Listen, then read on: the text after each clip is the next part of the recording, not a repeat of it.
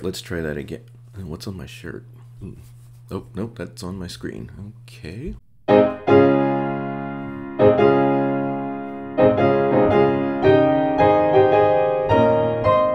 Hello, music teachers. Uh, my name's Keith, and welcome to the first chapter of The Theory Teacher Teacher. So, I'm developing this channel because in the last few years, I've gotten more than a few calls. Well, emails or texts, nobody calls anymore.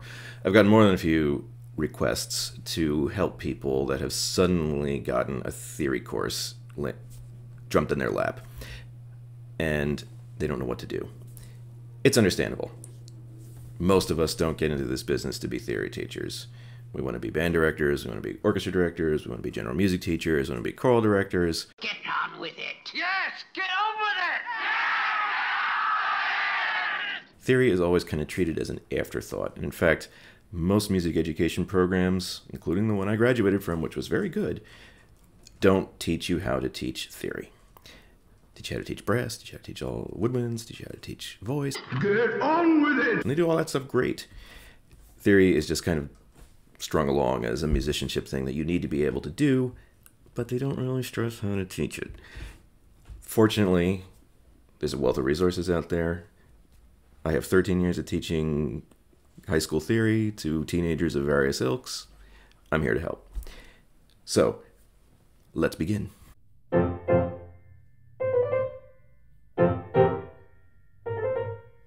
Tip number one don't panic. You can do this. You can do this. I make light of it, but I understand why you may be panicking. It's probably been a while since you revisited the rules of harmony and voice leading and all of that stuff. But don't fret. They will come back to you. What you're going to be doing with your high schoolers is pretty fundamental. Music theory is an enormous body of work and knowledge. People are still getting PhDs in it, discovering new things. You don't have to do all. So don't panic. If you teach to the fundamentals, you'll be just fine. Tip number two find a text or a source you can stick with and use as a guide. There are a lot of them out there. Actually, periodically, I'll be doing some book reviews on this channel. Stay tuned for those. But it need not be a traditional book. Online sources are great but please stick with something and use it as a guide. It is really easy to get lost in the wealth of material that's out there. Find one that you can live with and stick to it. It's no secret I'm a bit of a bookworm. Look behind me, right? This is my den. In fact, that lower bookshelf over there is mostly music books. I collect theory books because that's who I am. If your school has a shelf full of theory books already, go ahead and use them unless they're pretty terrible or really dated or something. They're probably okay. You can always supplement. If they don't, or if you're at a school that doesn't have a textbook budget for such things, like my first employer, you can always go on eBay or the Academic Book Exchange and find an older copy at a pretty reasonable rate of a book that you were familiar with. If you'd like some recommendations, go ahead and email me or anyone you trust will help you out. Which brings me to my next point. Point number three reach out to others. Right? There's a lot of us out there. There's one of us in most high schools.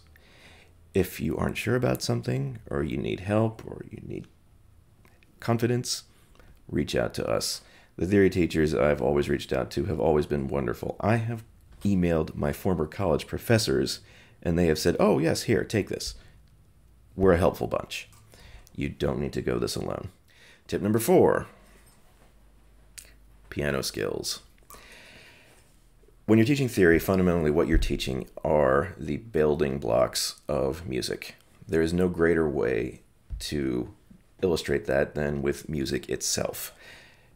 So, piano happens to be the best way to quickly illustrate harmonic concepts, melodic concepts, although many instruments can do melody. In fact, all instruments can do melody, but anyway, piano is sort of a maid of all work, according to Aaron Copland. So brush up your piano skills. I know most of us were tortured with secondary piano through our college years, and we basically got through it. But here's where you're going to need them.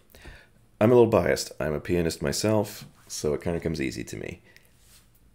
I understand if you're not, but get practicing. Tip number five review, review, review.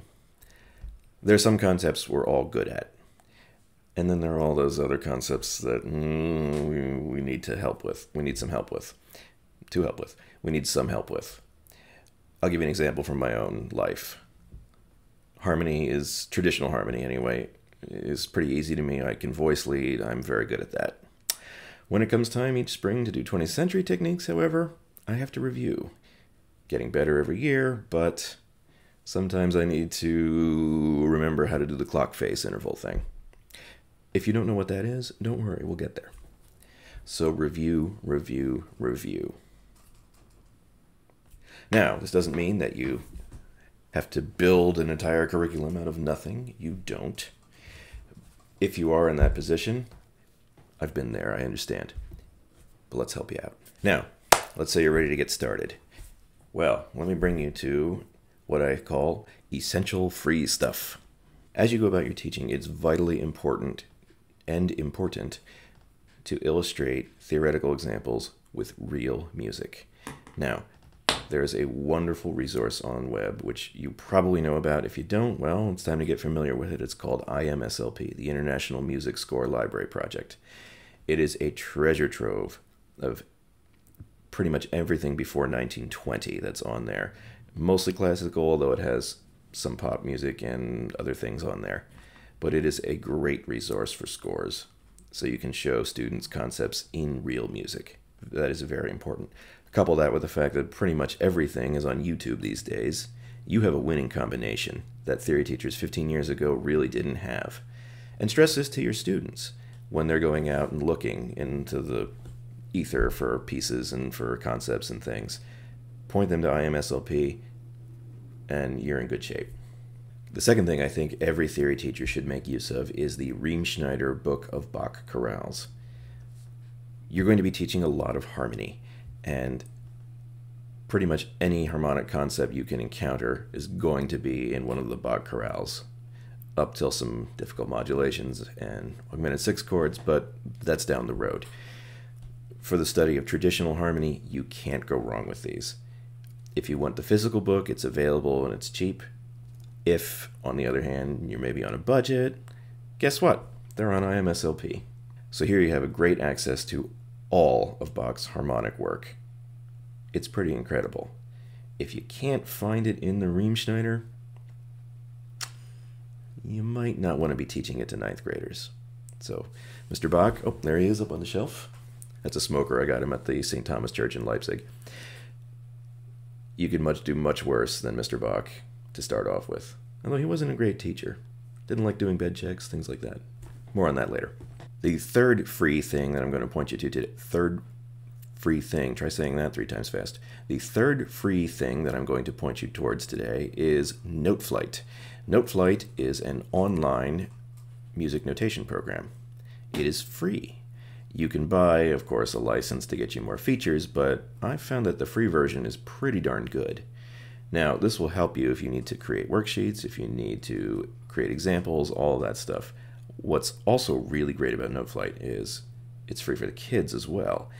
And you can do a lot of sharing back and forth between it. There's a wonderful sharing function buried in there, but you can find it.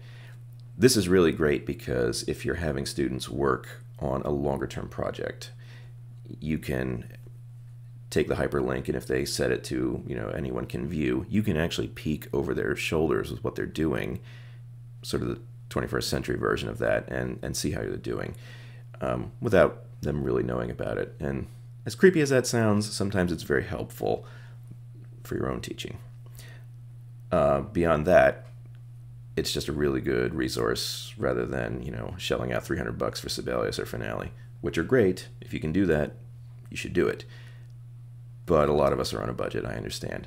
Noteflight is a really great resource, and it has really actually helped change my teaching for the better. There's another competing program called MuseScore, which is not online, although it is a free download. That is a little bit different setup. That's actually set up a little bit more like Sibelius. That has more MIDI sounds in it. It's better if you're doing orchestration or something like that. Um, what it lacks is it's not online, and the sharing function isn't quite where NoteFlight is yet. Either will work. Find one you're comfortable with and use it.